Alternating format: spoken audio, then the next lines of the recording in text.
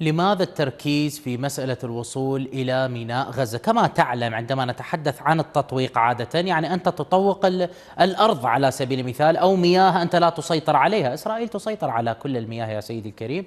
وكذلك أن مسألة الوصول إلى ميناء غزة يعني قد لا, لا, لا يضيف الكثير في مسألة الهجوم. يعني ألا ترى بأنهم آه، يعني ما الذي يمنع أن يقومون بالاقتحام الآن في داخل قطاع غزة؟ حتى وإن لم يسيطروا على ميناء غزة من هم متواجدين في ميناء غزة والأحياء التي تأتي حولها يعني آه، سيكونون في موقف صعب للغاية لأن البحر سيكون من خلفهم وإسرائيل تسيطر عليها والقوات في الداخل. هل لك أن توضح لي هذه المسألة؟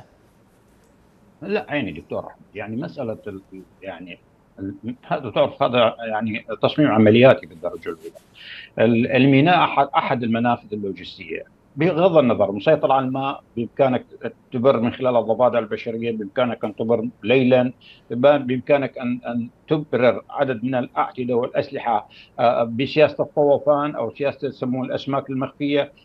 عدد كبير من الأساليب الممكنة والوسائل الممكن تستخدمها عبر البحر. ولذلك يجد يعني مصمم المعركة الاسرائيلي إنه الإطباق من ناحية البحر وهي آخر منفذ ربما يكون من وجهة نظره إنه ممكن أن يهاجم من خلاله أو من خلفه مهم جدا، نقطة مهمة أخرى هو يبحث أيضا عن عن نصر معنوي، مسألة إدامة المحاور وربما تعلن عن إسرائيل إنه هو نصر معنوي بأنها استطاعت أن تطبق على غزة. وأنت تذكر قبل أربعة أيام أعلن وزير الدفاع الاسرائيلي إنه غزة تم الإطباق عليها وتم يعني محاصرتها، فعليا لن تتم إذا أخذنا بنظر الاعتبار عوامل مهمه تدرس هناك شيء اسمه تقدير موقف استخبارات الطبوغرافيا والديموغرافيا والجغرافيا العسكرية الموجودة.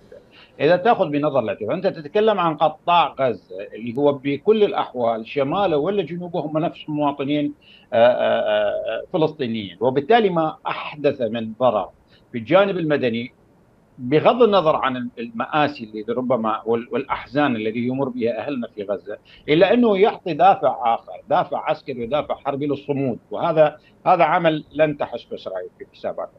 ولذلك أنا أعتقد من وجهة نظري مسألة القطع للشريان البحري هو لقطع الدعم اللوجستي لحماس بأي شكل من الأشكال لا سيما نعلم أن حماس لديها عناصر مساعدة في سوريا، لديها عناصر مساعدة في لبنان، وربما يستخدمون البحر لدعمه وهذا أمر وارد جدا في تفكير أي مصمم عسكري، وذلك يبحثون على هذه النقطة ميناء غزة. يعني ليس فقط كهدف عسكري مهم وإنما أيضا هدف معنوي يضيف إلى معنويات الجيش الإسرائيلي ممكن تم السيطرة عليه، أعتقد هكذا.